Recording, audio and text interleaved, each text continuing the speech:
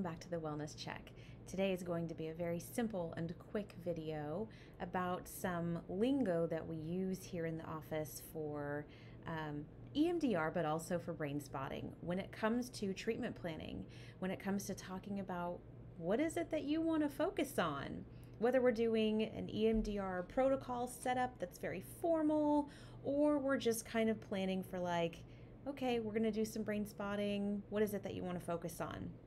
Some people either get overwhelmed by that question, there's too many kind of darts to throw to look at what to focus on. Um, and other people just don't know how to answer the question. It, it, can be a confusing question. So, there's something we say in here uh, when treatment planning and developing what we're focusing on, and it's called the worst or the first. And even then, people kind of are like, what? What does that mean? It's an easy way to really filter this out. So it's exactly like it sounds. If we're picking the worst, then this means, you know, we've had a lot of conversation together, a lot of background, history taking, the rapport is there. I know a lot about you and why you're coming to therapy. What do you want to focus on? What feels like the worst? What feels like the worst one? Is it something that happened kind of recently? Is it something that's really relevant to you right now? It's still a problem and it's bothering you or it's upsetting you or re traumatizing you? Is it something from a long time ago that just changed the course of your life after it happened?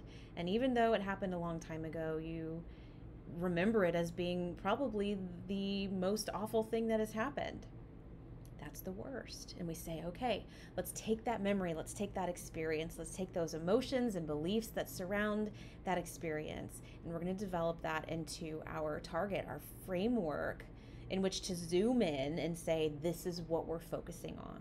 And it feels relevant. The other option is the first.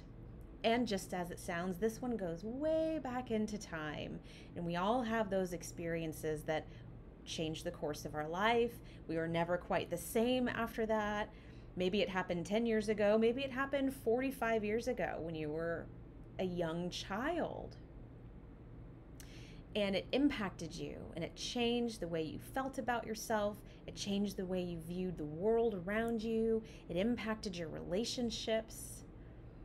That's the first. And technically, it doesn't need to be the first, but it's kind of with the color of like going way back, going way back into time and looking at these early events in life that helped to shape you and that had an impact on you, and focusing on zooming in the painful parts of that. So when you hear a, a trauma informed therapist talk about the worst or the first, that's what we're talking about. And it's a super simple way to help frame what is it that you want to focus on. Because if there's a million things that are bringing you in and you have story after story and life event after life event, that's overwhelming. It's an overwhelming question. Where do I start? I don't know. First or worst? If you find yourself going into therapy or you're a seasoned client in therapist in therapy, think about it in terms like that of not just any shot in the dark of any little thing or big thing that has happened, but specifically these impacting moments.